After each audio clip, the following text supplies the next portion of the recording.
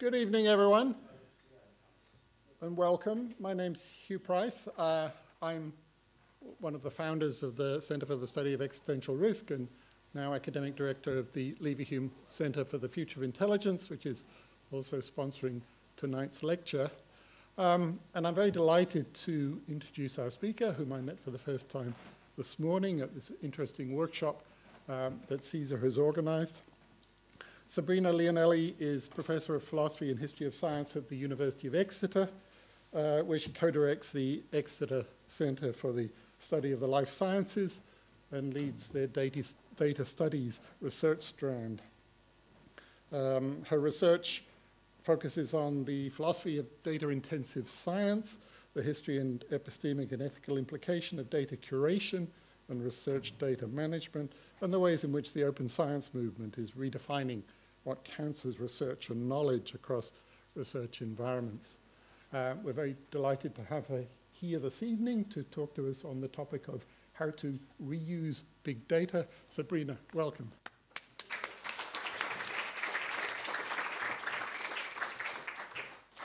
Thank you very much. It is a delight to be in Cambridge and see many friendly faces in the audience.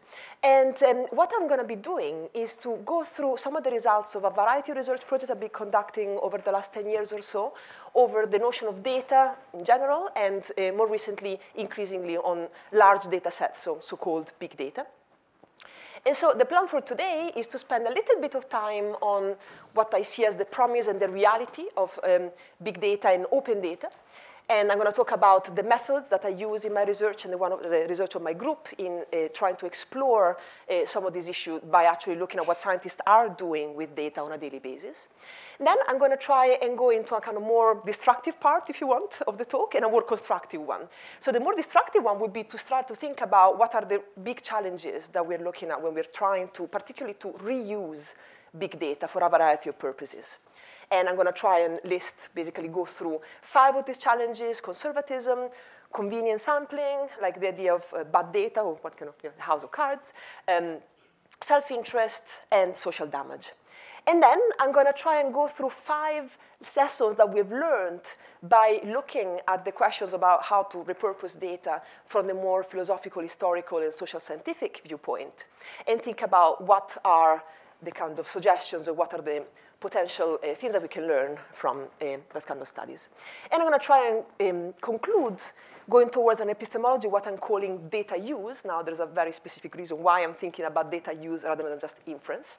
And partly that's because I want to capture also the pragmatic um, uh, issues that arise when you're trying to really do work with data on a daily basis, and think about the conditions under which big data can be used to reliably inform inferential reasoning. So first of all, on big and open data, I probably don't need to really say much to this audience about what the discourse around big and open data is. I mean, we are looking at a situation where we have increasingly new and emerging technologies for producing and storing lots of data, lots of different types of data, in a way that's very fast, and data that really are about, you, can, you could argue, anything and everything. And we also are looking at the emergence of new institutions and also new communication platforms for disseminating those data. And one of the ones that I'm going to be talking a lot about is data infrastructures and databases, which have been a focus of my work now for, for a number of years. And we're also, of course, looking at new forms of data analysis and computing and automation. And of course, uh, the audience today, in particular the Center for the Future of Intelligence, I'm sure, is looking at, at some of those in, in much detail. And so there is a strong sense that by um, looking at big and open data, we're looking at, we're considering them to be a sort of gateway to a whole new set of social behaviors, services that can be extracted from the use of this data, and self-understanding for people using this data to go about their business and, and to understand themselves. And in fact, I think one of the things that underpins um, a lot of these developments in science, some of which, of course, are not new. I mean, people in research have been dealing with large data sets for a very, very long um, time, but is this idea that data themselves are acquiring a relatively novel status in science. They're talked about much more, like data publications start to actually be recognized as publications in themselves, in a sense, separately from the publication of claims made from inferences from those data. And therefore, there is a whole new landscape around how does one um, deal with data, how does one curate the data, how does one manage them so that um, data can actually be disseminated in a variety of different ways. And um, here you see also some indications of uh, what people call the open ecosystem and the idea that, in fact, um, data not only come in large quantities these days, certainly in a lot of fields, but also there is um, an increasing expectation that data will be more widely disseminated than just uh, to the people who are involved in creating uh, the data in the first place. And so there's a lot of initiatives, both at the level of lobbying among researchers, but also I'm very involved in initiatives by the European Commission in trying to foster this agenda of actually uh, increasing uh, the level of open data which are available and implement the so-called fair data, so actually making data accessible, reusable, etc. And this is sort of the landscape where uh, my talk is situated. Now, why an insistence on big and open data? What actually makes them valuable? There's a whole variety of reasons why people are um, very interested in uh, the circulation of very large data sets. And there is attached, uh, they're attached to the idea that you could improve the pathways to discovery and also the quality of discovery themselves. So of course, data mining can help you in lots of ways. Um, it can help you to spot gaps in your knowledge and opportunities for new research directions, for instance. It helps collaborations across different research sites, um, across different disciplines also, and in fact across countries. And that in fact has always been the case in the history of science, but particularly now is, is coming to the fore in the last um, 10, 15 years or so. Um, it can help to improve the uptake of new technologies, particularly computational technologies. It can help with research evaluation and debate around the transparency of science and of the research process. So highlighting the fact that we are looking at um, ways in which um, basically components of science that are not necessarily part of the final claim that is extracted from any one project, but are equally important to try and reconstruct what the process to get to those particular claims could be. And um, the idea is also that is indeed um, trying to um, highlight the fight against fraud, low quality duplication of efforts by making, it, making the data available for scrutiny, and in that sense, enhance the legitimacy of science, public trust, and engagement. So there's a lot of expectations relating to the use of big and open data. Now, um, I'm going to argue that, in fact, the key to understanding the discourse around big and open data and also all the challenges in, in uh, implementing some of this vision and achieving this potential is actually the idea of data reuse. So what we really want to have, that's the whole reason why we're talking about open data in the first place, is data which actually can be used, that can be valued across different research contexts beyond the one in which they were originally produced, and for a whole variety of different purposes. Now, Obviously, trivially you may say, what this really means is actually making data mobile and useful across groups with a variety, with different expertise. So you could say, in fact, that the value of big and open data resides first and foremost in their mobility, in their capacity to actually travel to places which are not the ones in which they were originally produced. And what I'm going to try and argue is that there are major challenges to realizing that potential of mobility particularly when one is dealing with very large data sets and very complex data sets. So um, the way in which I've been going about trying to uh, do my research is in the context of mostly a project called Epistemology Data Intensive Science, which is funded by the European Research Council. And the main point about that project was actually to investigate, fine, we're talking about big and open data, but are people actually reusing the data? Under which condition is it actually possible to reuse the data? And what kind of labor does it take to make data re reusable and like, to make it possible to repurpose these materials? And we are trying to do this by doing what we call tracking data journeys. So we're literally tracking the ways in which certain data sets travel from the sites in which they were originally produced, typically through large data infrastructures that curate them and annotate them and make them available to a broader audience, and then eventually to different labs and different groups that will that are different from the um, groups that produced them in the first place, which then pick them up and reuse them for their own purposes. And the reason to do this as a philosopher, historian uh, of science is the fact that you can track some of those movements by quantitative methods. But in fact, this is quite difficult due to the fact that most people don't really cite data sets, they cite papers. Sometimes, rarely, they cite databases, but not really specific data sets. And in fact, it's very, very hard to try and understand how data are being reused without doing very specific qualitative work, which for us involves actually uh, talking to a lot of scientists, interviewing them about their experiences, and trying to reconstruct these data journeys. So uh, the focus of this work partly is on databases, And in a sense, we, we use them as a starting point, as a window to try and understand what are the um, conditions, what is the kind of material, conceptual, and institutional labor which is required to make data widely accessible and usable. And particularly, uh, I'm interested in the kind of labels and the software that is used to classify the data, model them, and visualize them. And also uh, the management of these infrastructures and their communications, how that's actually uh, worked out. And also, uh, we've looked at a number of cases of data reuse to investigate actually under which conditions do these data um, get reused, what was kind of a good set of conditions, what were potential problems in the ways in which uh, data were presented, and what the implications are for how we conceptualize discovery, and in fact, how we conceptualize good research, a research that is productive to some extent. So in that sense, we're very interested also in the role of open science movement, um, um, you know, the open science movement in knowledge generation in general.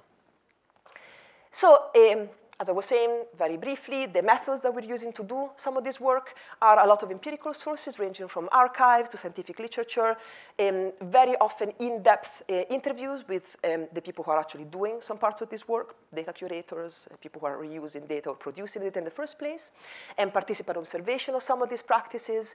And in fact, we tend to end up collaborating with quite a lot of the uh, researchers that we're um, start a conversation with. So we ended up kind of co-authoring quite a few papers in, in, in different parts of this, um, um, of our cases.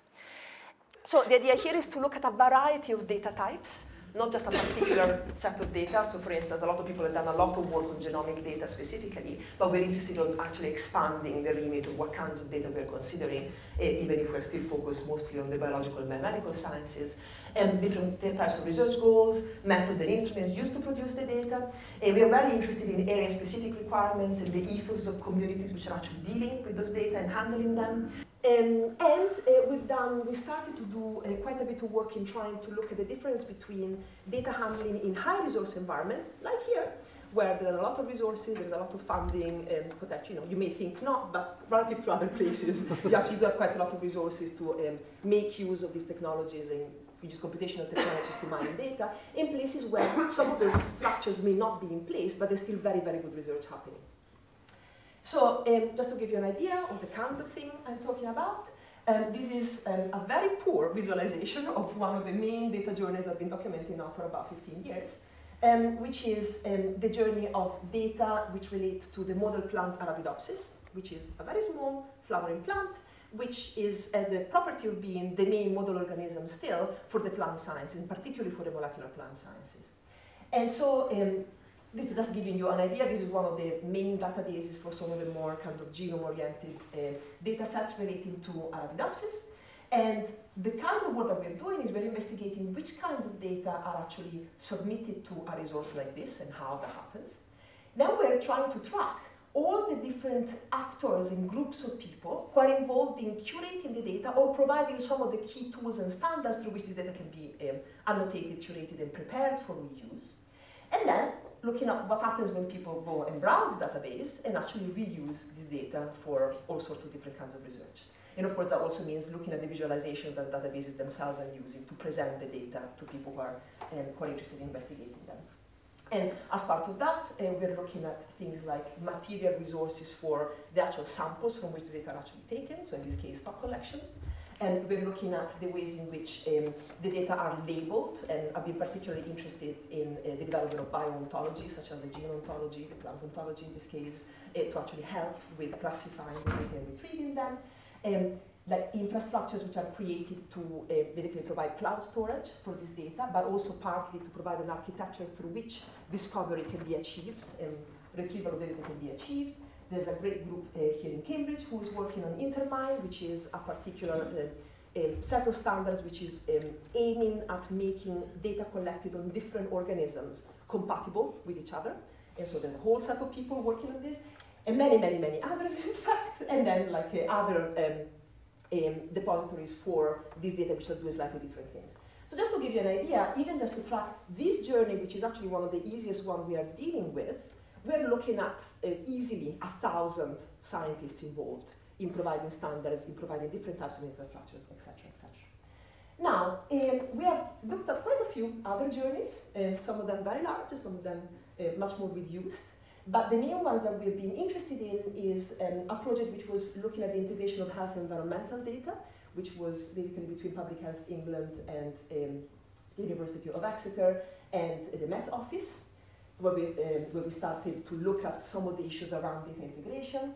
And the use of, and in fact, the reuse of sensitive biomedical data, and in that um, instance, we've worked uh, very closely with the SAIL data bank, the Secure Anonymized Information Linkage data bank, which is, I still regard it as basically one of the best cases of how to not just anonymize, but in fact, make usable and assist researchers in using biomedical data, certainly in the UK, but in fact now increasingly is regarded as one of the great examples in the world for how to do this. And we looked at uh, how does um, work or data collection which is happens on one species end up being communicated to people working on other species and how does that inform cross-species uh, knowledge production. In here we looked at things from yeast to um, human databases.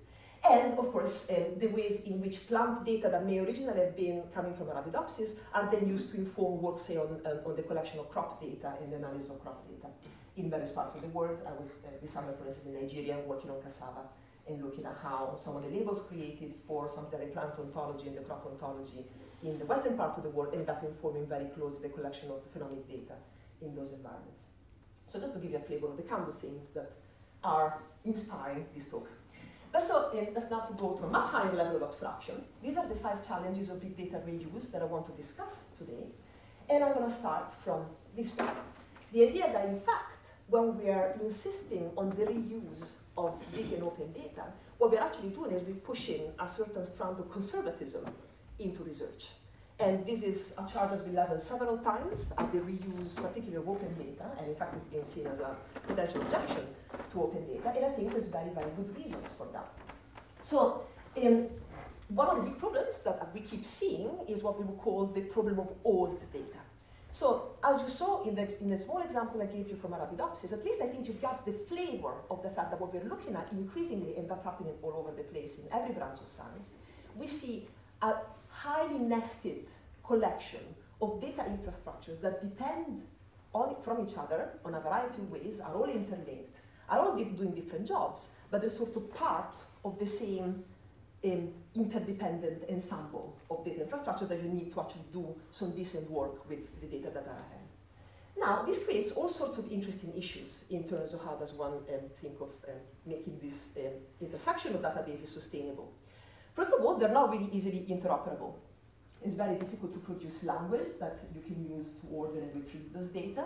Ontologies are doing a very good job in some fields at actually doing that, but of course there's still a lot of disagreement going on about which ontologies to use for which type of data and whether the ontology you use in that particular field could be compatible and how with ontologies used in other fields. So there's a, there's a big question there. Uh, there is a lot of work going on on what does it mean to describe an experimental procedure used to create data. So basically, what are the metadata that should accompany the data?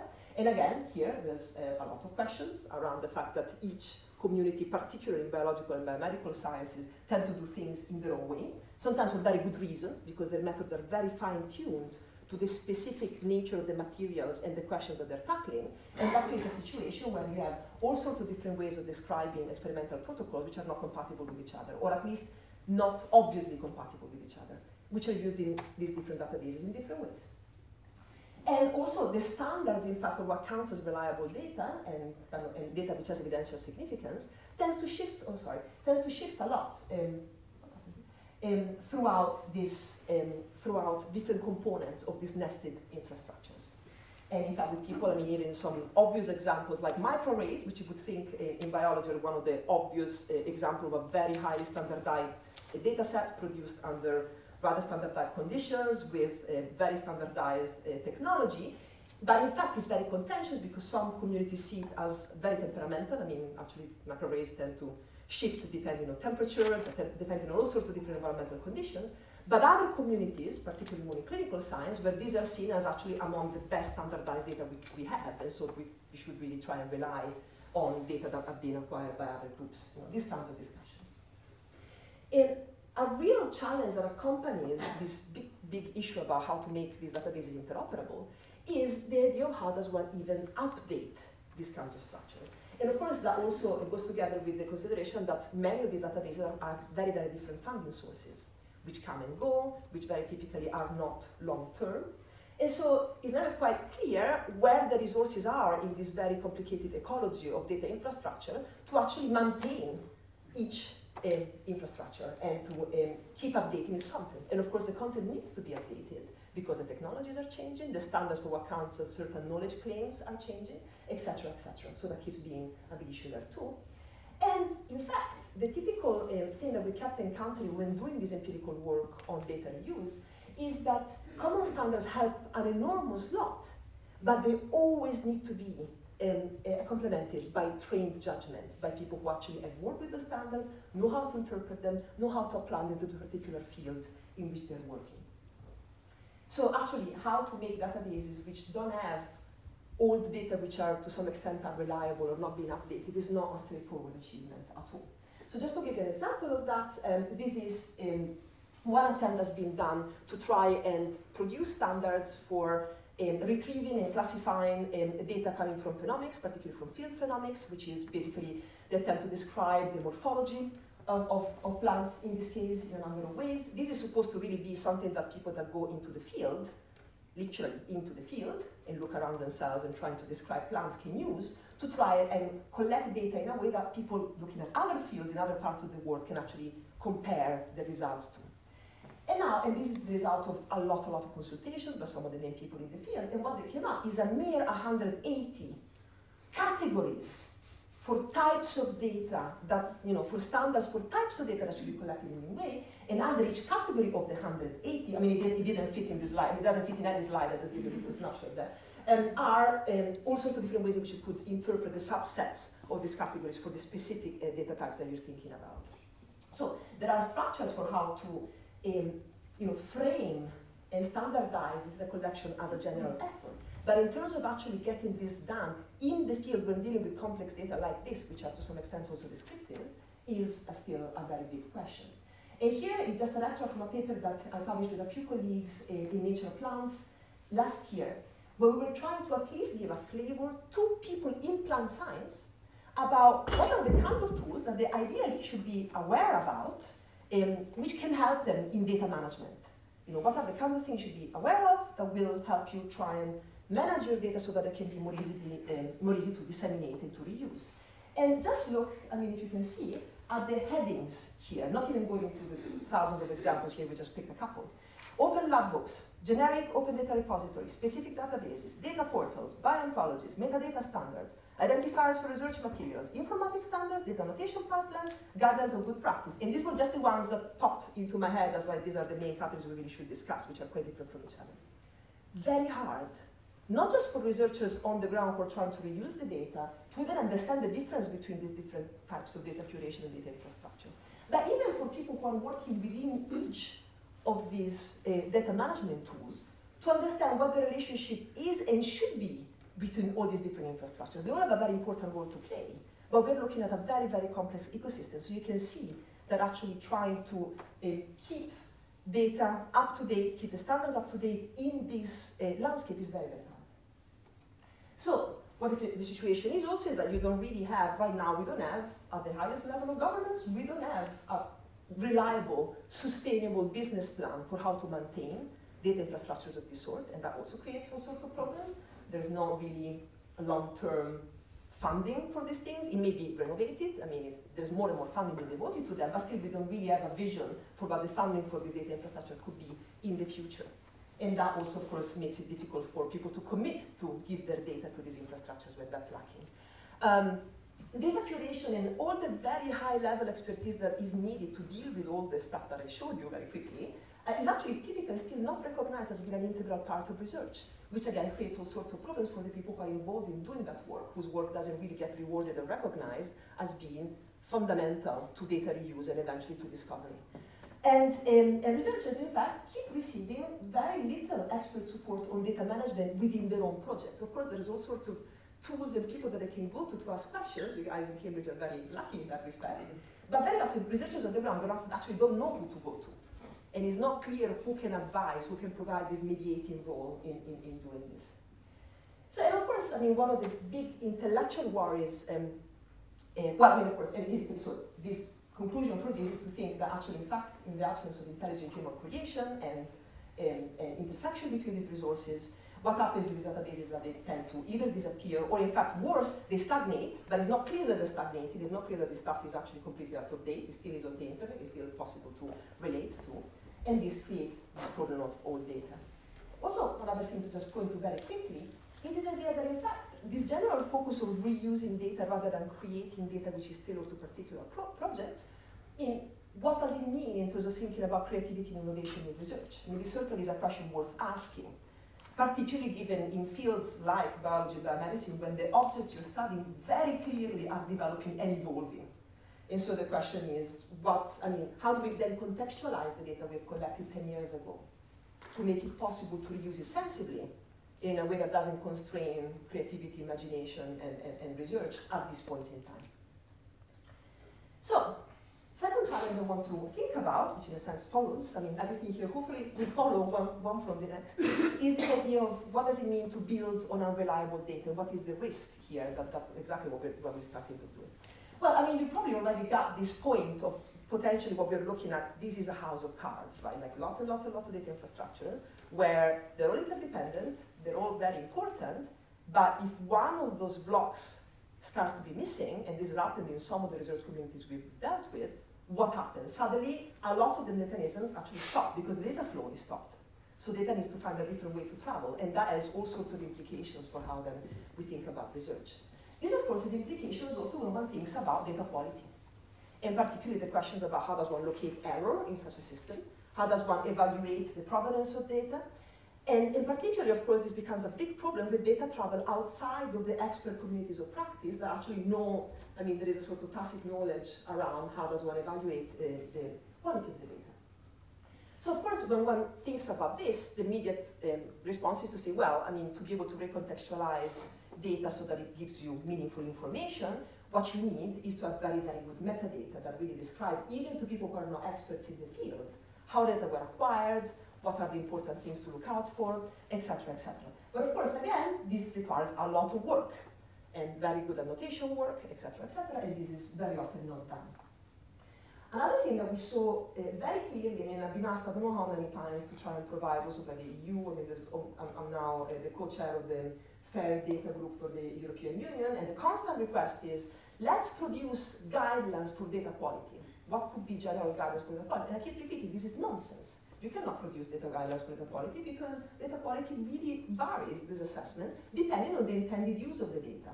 You really cannot have exactly the same weights and balances like for everything that's happening, even within the same field. There's going to be different uses and different levels of reliability of the data depending on what is happening. So that complicates things uh, quite a bit. And of course, one of the things also that happens in terms of assessing data quality is that that assessment very often depends on having access to the original material samples and the instruments with which data were originally collected. I mean, that's partly to do with reproducibility, but partly also just having the skills to be able to assess what this data may actually mean. And this is very difficult because, for instance, collection of samples, certainly in biology, tend to be unsystematic, very underfunded, and absolutely not linked with uh, digital databases, or in very, very rare occasions that happen. And all instrumentation tends not to be kept. I mean, of course, again, Cambridge is to some extent an exception to this. You know, wonderful history science museum, some of the material will be kept there. But generally speaking, um, this is just not really done systematically. So, um, data sharing and reuse needs data curation, for sure. That's being very widely um, acknowledged. And this data curation should be intelligent, first of all. That's something that the Royal Society has been defending very strongly, but now is, I think is accepted by many people in this field. It should also be informed by familiarity with the research objects and the target system. And that's something, again, we're finding consistently in case of successful data reuse. But of course, then the question becomes, I mean, does that put a limit to the travel of the data? Does it mean that actually people who are using the data still have to have a link to the particular object on which data were produced? Or can we really think about data travels in a much more extensive way? There's got to be, a, like data, data curation needs to be trustworthy, needs to be able to weed out error and, and, and unreliable data. And again, that tends to happen in communities which are much more small knit and kind of um, where there is a stronger sense of why we're assessing data as trustworthy and like what criteria we're actually using to do that. And of course, what you want is some sort of consistency across time and space, and that particularly is the case when we're thinking about longitudinal data collections. So what we found consistently, as I said, is that databases are really relatively rarely regarded as trustworthy, except in communities which are relatively smaller, relatively speaking, and have very strong social bounds and user participation within them. So a very good example of that, and the people who are responsible for this are sitting right in this audience, is a database called PomBase, which is used to disseminate data, mostly genomic data, about um, fish and yeast. And this is, I think, one of the best examples, certainly in the databases that I know about within modern organism biology, of actually being able to produce a database which has a very strong user participation, and uh, where there is a very well done annotation process, and the curation is done extremely well, and at the same time, there's such an involvement of the community that you get a lot of user feedback directly on the database. And that basically gives you a product that people seem to trust to a very large extent, in fact, much, much more than pretty much any other example that we've looked at in, in the research that we've done.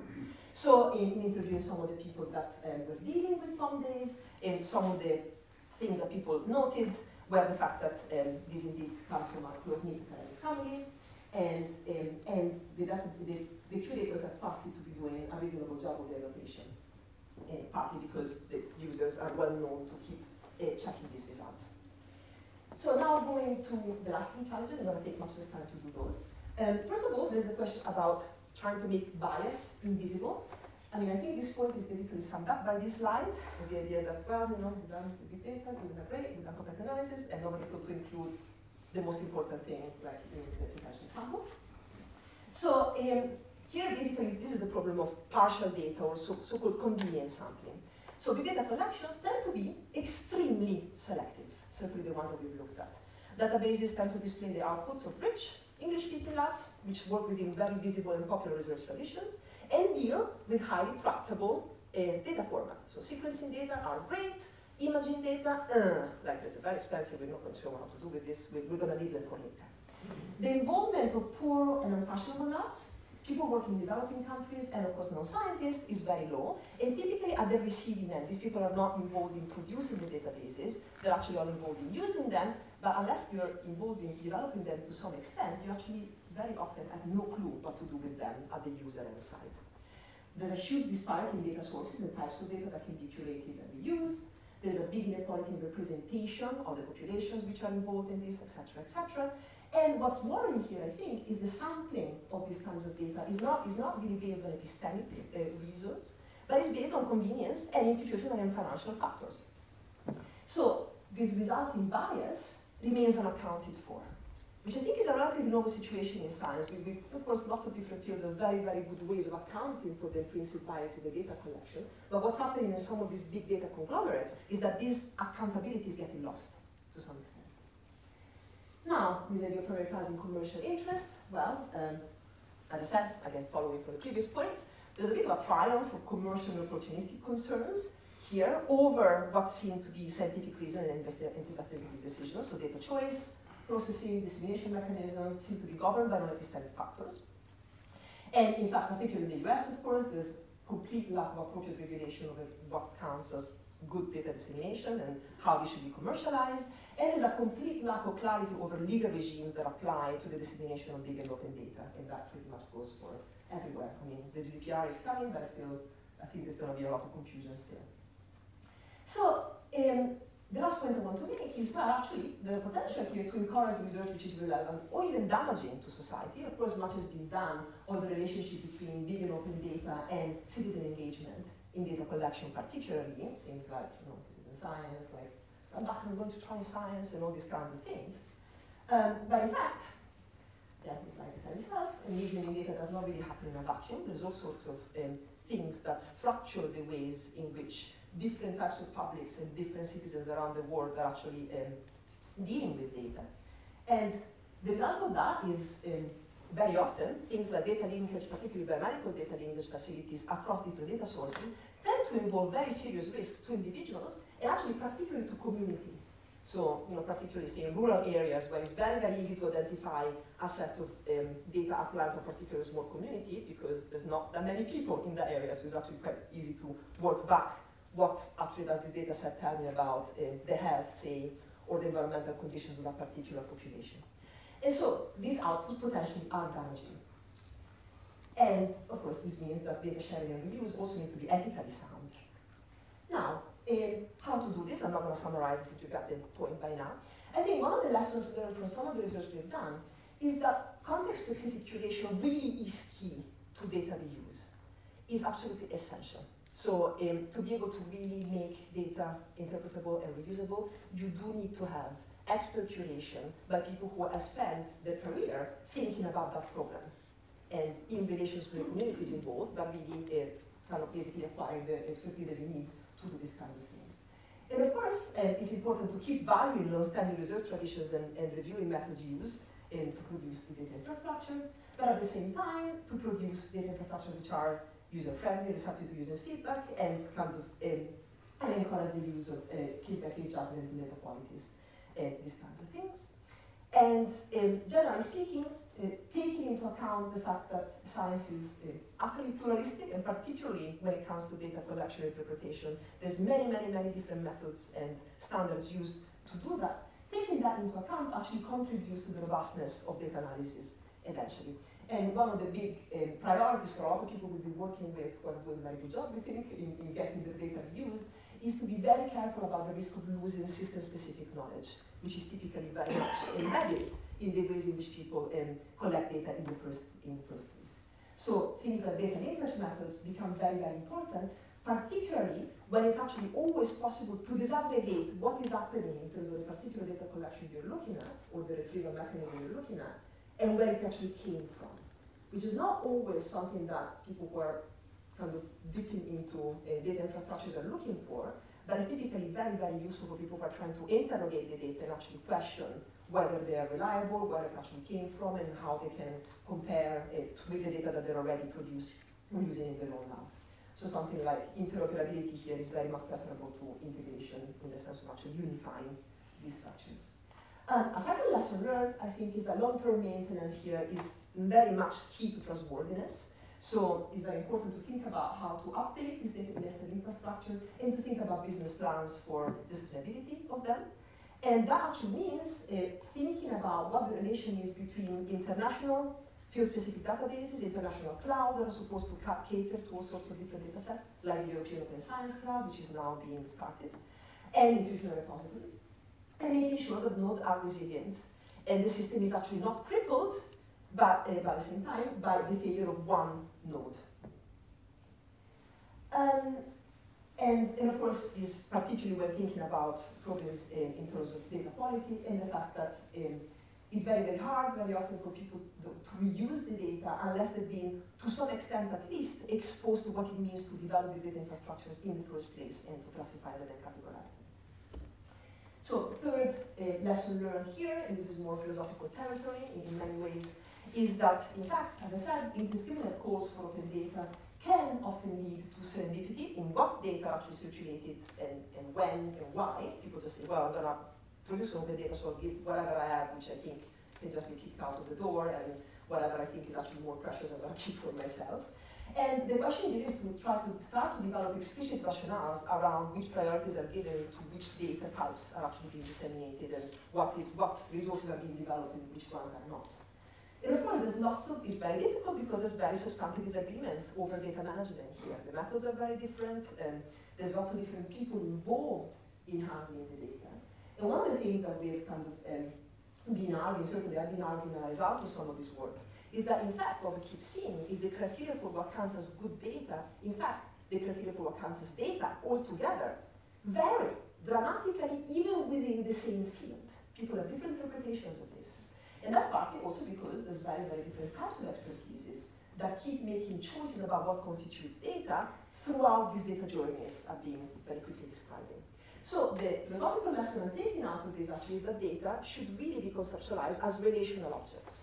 These are not representations of nature that come ready-made, they should be respected in some way. but actually data are objects which keep changing throughout their lives as being disseminated as a chain format, if you want, but acquire an evidential value when they're actually put in a particular context. And pretty much only in that context they can be evaluated as being evidence. We can have a of discussion about this, but that's basically the general framework, which basically brings us to consider more general ideas about what does it mean to think about epistemology of big data use here.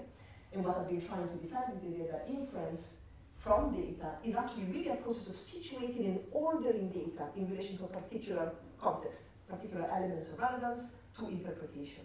So, in fact, developing a context for inquiry that aligns the purpose of the inquiry with the existing theoretical commitments and selected properties of data and the target systems. Databases are, again, a very nice way to think about this because the scope and the objective of a lot of data infrastructures is actually to allow you to organize and reorganize and reorder and revisualize and remodel the data in lots of different ways. So you can start to think about comparing alternatives and use that to generate different interpretations and, and different ways of thinking about the value of the data. And, um, well, I mean, I'm not going to go very much into this, but just to say that I think one of the things also that comes out of this is there's a lot of talk about triangulation of different sources being the secret to having good inference, because that's great. I mean, you know, that's the typical big data advocates um, solution to these problems is well, doesn't really matter all this stuff about the accuracy of the data or the quality of the data, just put lots of different types of data together about the same phenomenon, and they will sort of converge towards a truthful picture of what the world looks like. You should just trust that. And I think, well, triangulation is very, very important in that sense, but in fact, it's not sufficient at all. Partly because the partiality of data sources, which is very difficult to account for. So how can you really be sure that all these different data sources actually provide a complete enough triangulation that would reflect what's going on in the world? And also because um, because of all the efforts that are actually required in trying to maintain continuity and commensurability um, across different data sets or even within the same data set, um, when you are reassessing the data set with different methods across time and I've written something about this, and the philosopher Alison Wylie has done actually a lot of work around this. So, I mean, I already mentioned the fact that another lesson learned from our work was so important to think about the relationship between digital data and the materials to which the data are actually related.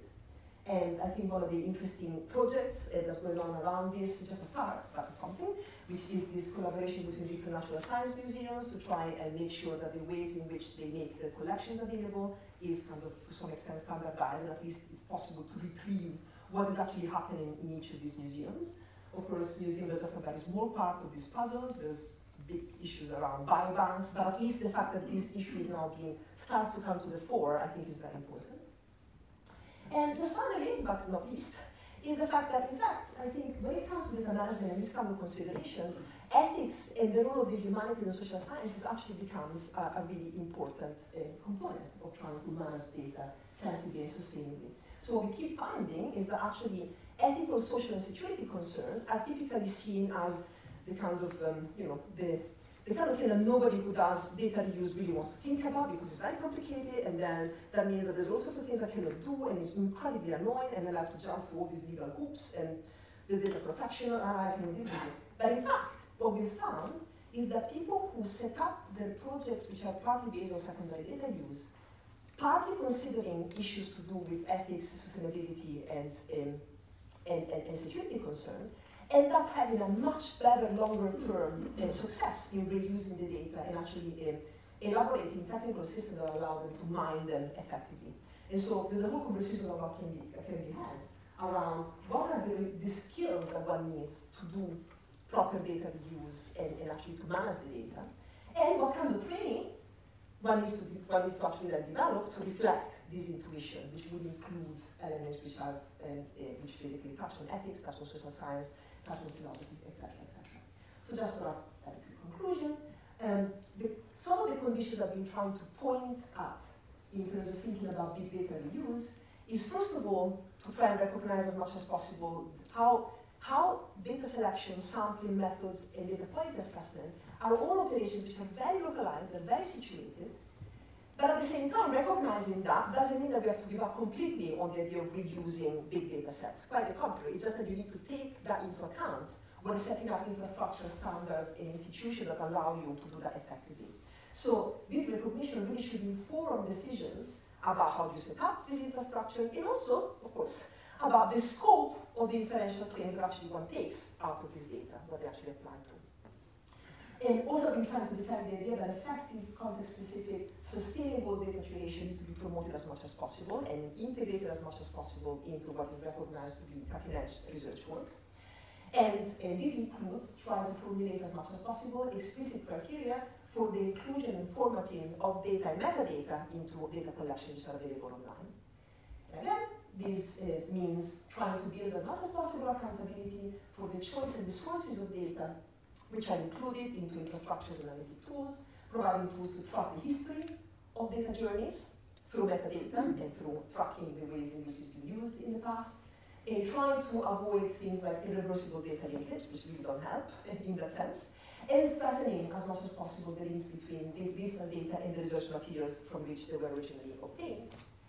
And finally, building safeguards for social and ethical concerns to improve the research methods. And here we've been uh, defending the idea that, in fact, I mean, this is not just a question of making, making this work legal or even making it more socially acceptable. This is really about the technical sustainability of some of these initiatives.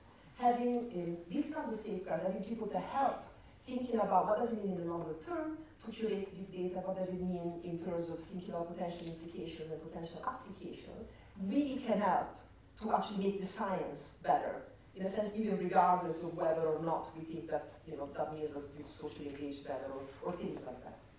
So this is what I want to say. Thank you.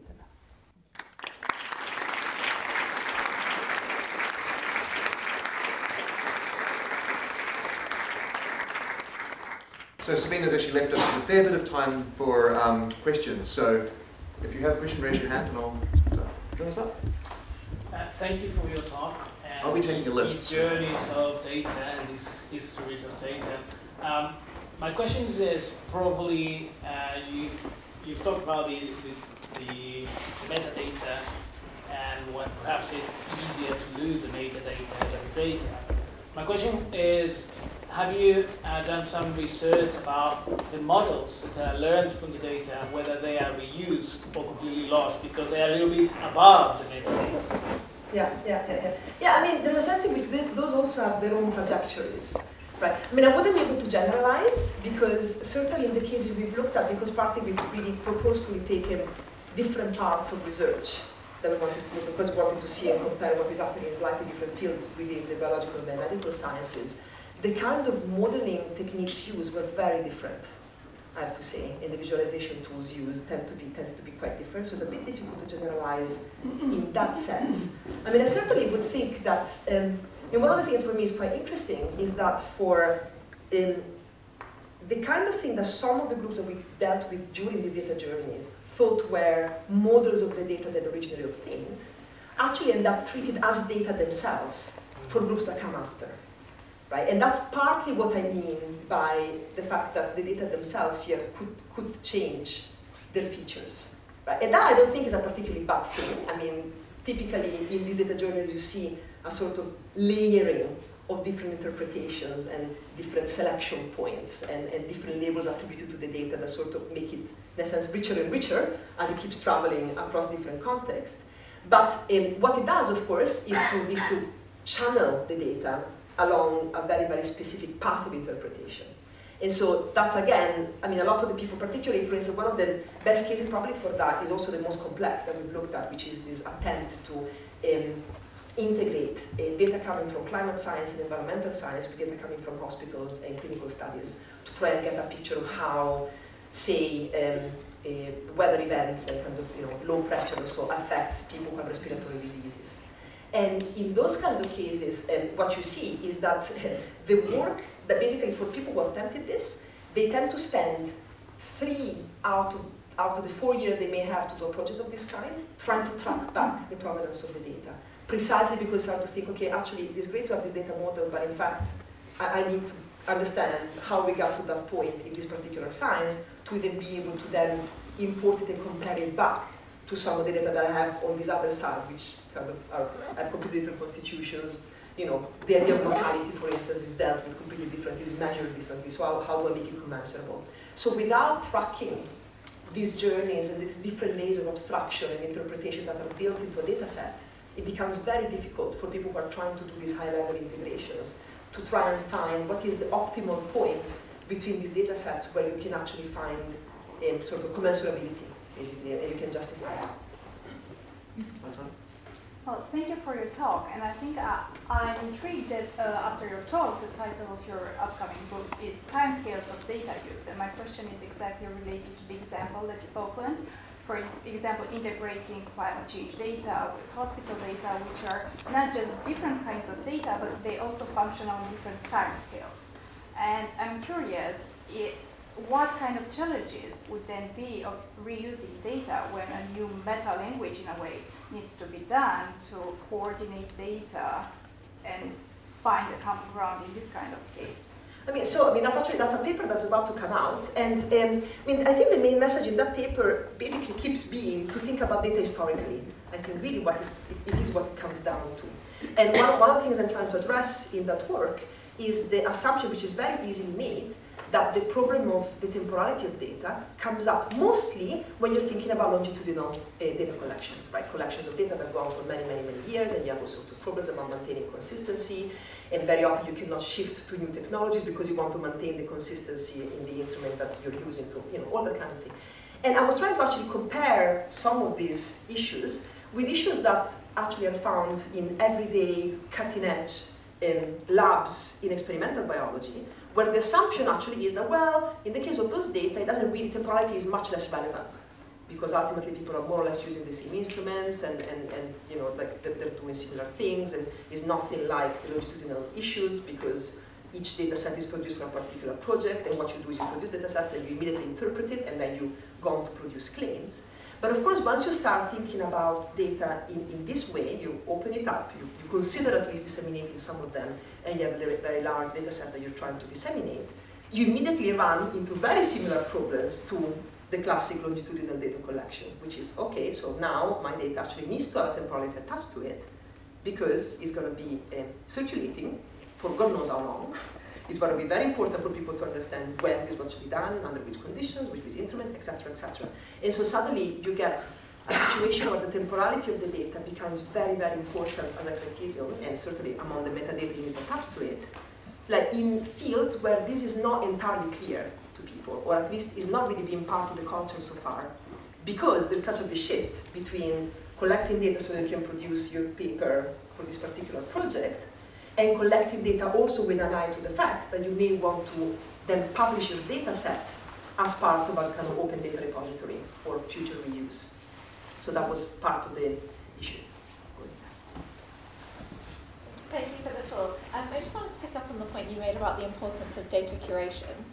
I was just wondering if you think, um, when talking on a large scale about reuse of data, whether you think it would be best if that became part of the research and the data generation and the responsibility of those doing that, or whether it would be more effective to have external kind of specialists or experts whose responsibility it was to curate data across the whole field.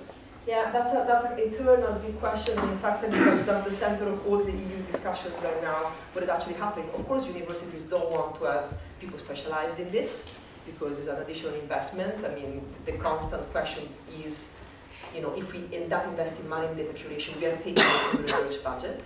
So is that something we want in research, that we're actually taking money out of research budget that could be used to produce new knowledge, to facilitate data curation?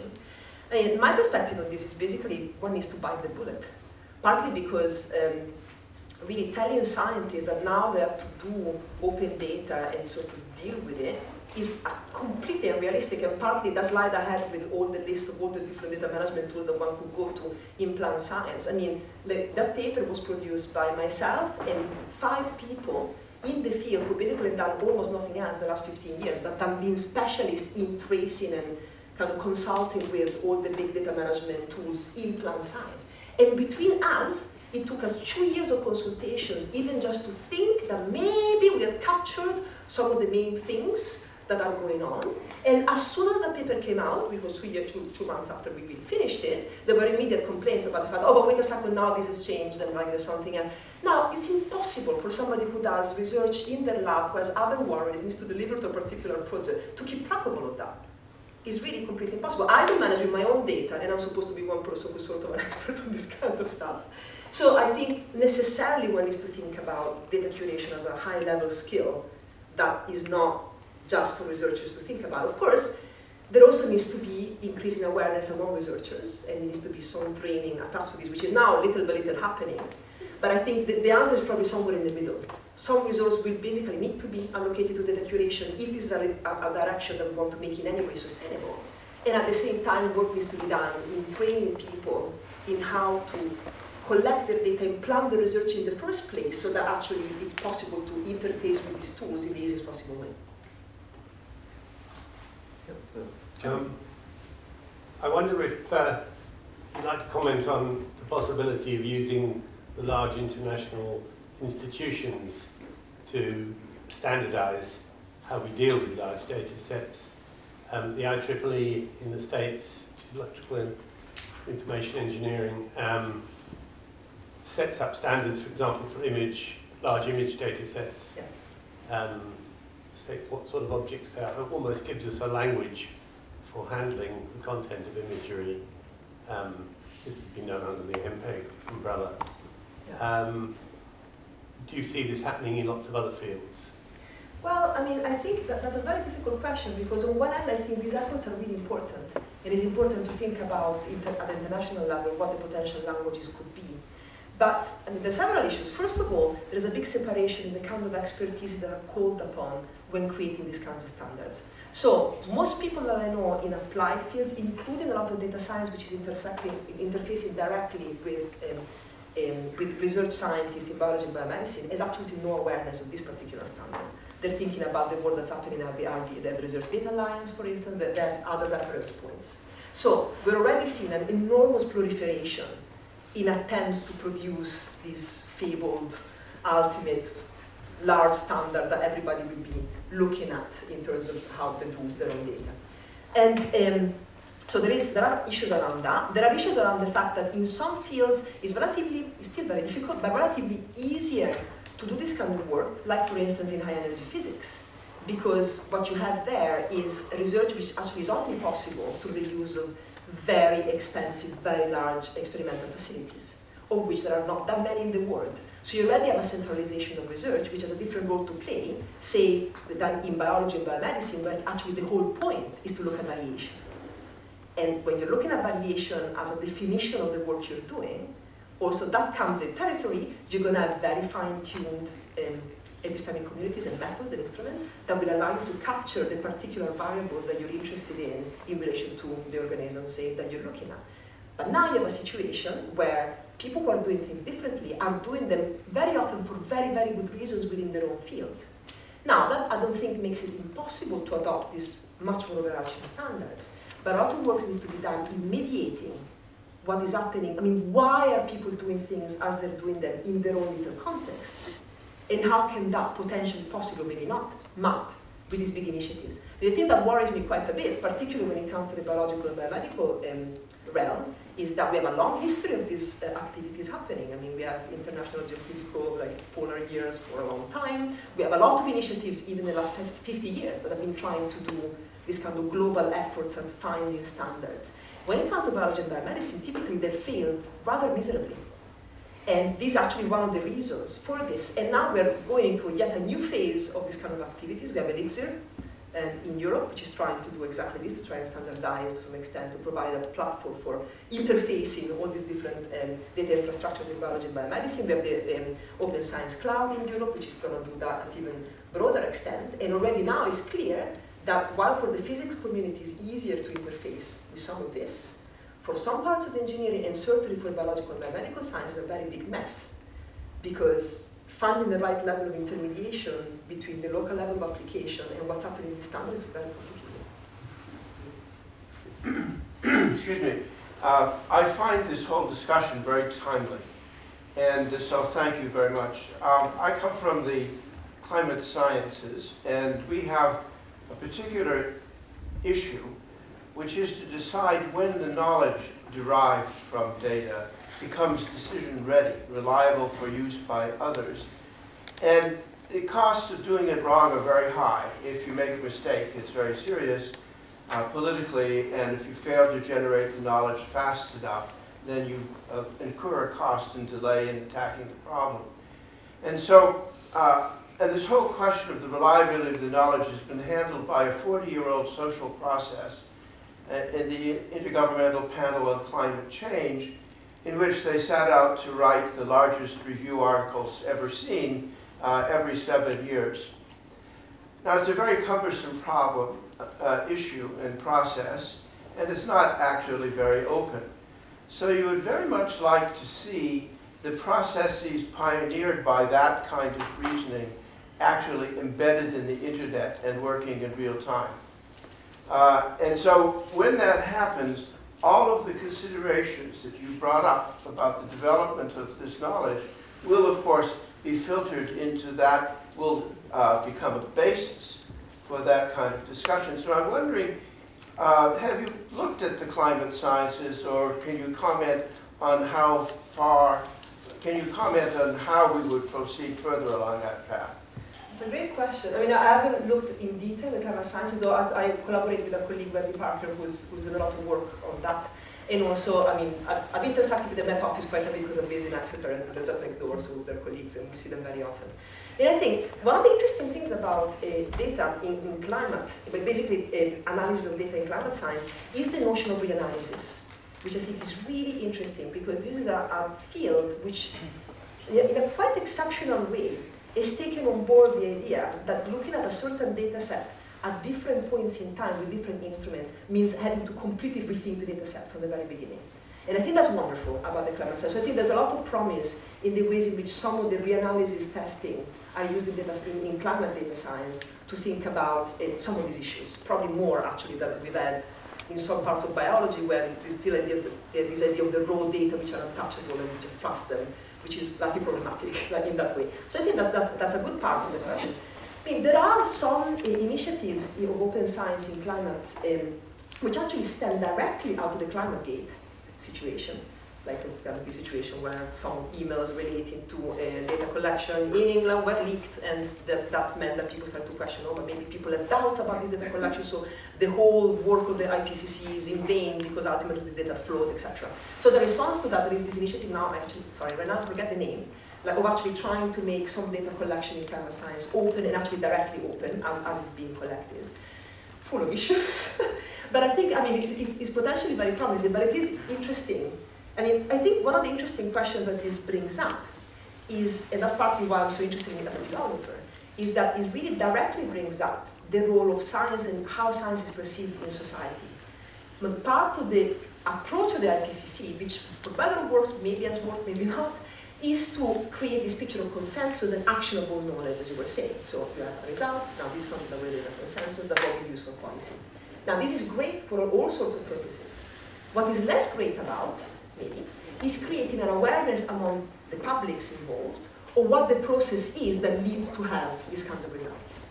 And I think this is what maybe the very utopic hope behind some of these ideas around open science in relation, say, to citizen science really is. The idea that, well, once you open up the research system a little bit by making some of the results open, by allowing people to scrutinize this work, yes, I mean, you probably enhance people's awareness of the fact that science is very fallible. It's perfectly possible that some of the claims we're making are wrong, will be proven wrong very soon. But at the very same time, you enhance uh, people's understanding that there are very sophisticated and very reliable methods used here to produce the data and to interpret them. Of course, how this whole thing fares in the light of post-truth and kind of alternative facts and all the rest of it is a big battle being fought now. But I think the potential is there. Yeah, I should only like to add to your comment about reanalysis. The second law of reanalysis is when knowledge advances, the data change. Because you've used the knowledge process. Yeah, I think that's pretty great. so do you have any final questions? All right, let's thank Sabina for an incredibly rich